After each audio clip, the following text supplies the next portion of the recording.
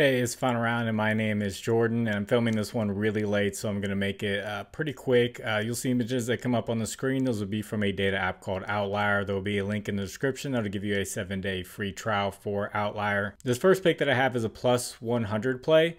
Um, I think a lot of people have been playing the over on this uh, just because what they've seen recently, and it's uh, Kelly Olynyk under two and a half turnovers.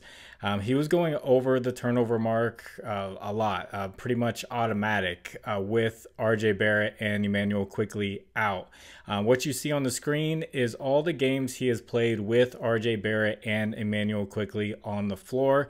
The Wizards are forcing the 11th fewest turnovers over the past couple of weeks. And Kelly Olynyk had to become a distributor. He's a really good passer at the center position, and uh, with more passes comes more opportunities to turn the ball over, and that's what was happening. And people are still taking the over on his turnovers when he has gone over this one time playing with RJ Barrett and Immanuel Quickley on the floor. So it's a 92% hit rate on the under there.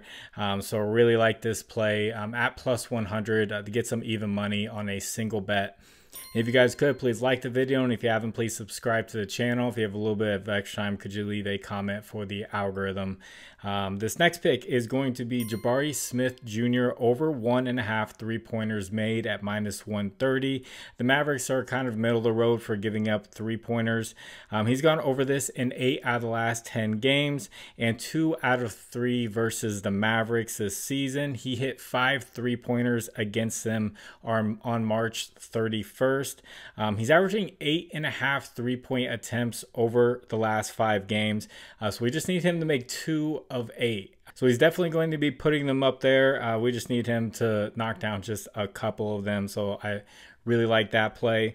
And then this third pick, um, I don't know how to pronounce his first name, but uh, for the Hornets, the point guard uh, Micic, over six and a half assists. The Thunder giving up the 10th most assists to the point guard position over the past two weeks, and they will be without Shai Gilgeous-Alexander and without Jalen Williams. Um, the the better Jalen Williams, uh, uh, trying not to be disrespectful to the other Jalen Williams. He's gone over this in five straight games as well. He's averaging 15 potential assists, so we need him to get uh, about half of these uh, converted. And he's gone over in some really tough matchups. He's gone over against the Magic, the Celtics, the Clippers, and the Cavaliers. Those are all some pretty good defenses um, uh, to get some assists against, and he's been getting it done. So should be closer game and and a good opportunity here to, to rack up some assists like he has been doing.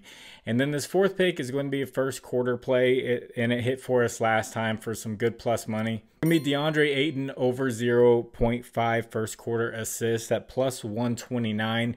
He's gone over this in seven straight games, and, and he has gone over this against Boston on March 11th. So I really like the payout there. And then got to go with Gary Harris over 2.5 first quarter points at minus 105. Uh, the payout stays the same, and uh, he, he keeps getting it done. Um, eight out of the last 10 and 75% out of the last 20. This is one that you just keep single betting and uh, he will, it's going to be green over the long run. So that's just a quick run through. If you'd like to discuss lines further, I have a Discord link is in the description. And if you would like to try some other apps other than PrizePicks, um, I'm partnered with some. And there's links in the description with the promo codes for Underdog, Sleeper, Chalkboard, and ParlayPlay. Uh, promo codes final round 11 to get those deposit matches. And also recap for the other video, um, Evan Mobley over 17 and a half points plus assist. Um, he he was not very aggressive aggressive when it came to shooting the ball. He got the assist done to make it even, um, but he just was not, the volume was not there for him. He did get in foul trouble early and got less minutes than he normally does. Um, but even then, he just wasn't being aggressive at all, like he had been ever since he returned from injury. If a guy goes six for seven over points, um, ever since returning from injury, you you know it's a good bet to take it over, but he just uh, went under on that one in a good matchup. Um, Jalen Johnson over seven and a half rebounds. Um, the Nuggets could not miss a shot. Uh, they shot 60% from three point range. They just kept making shots, and he ended up with six, and he ended up with five less minutes than he normally plays. So if the Nuggets came down the earth just a little bit and he got his extra minutes, he probably gets his rebounds done. But just tough breaks with those two. Uh, Michael Porter Jr., um, four and a half first quarter points. That one's been money. Um, hit that. Jarrett Allen, five and a half first quarter points. That one's been money. He hit that. And then Darius Garland over one and a half assists. I don't think he had his first assist like until near halftime. So um, two for three day. Um, not not a profitable day. We've been having more good days than bad days as of late. So uh, uh, it's bound to happen every once in a while.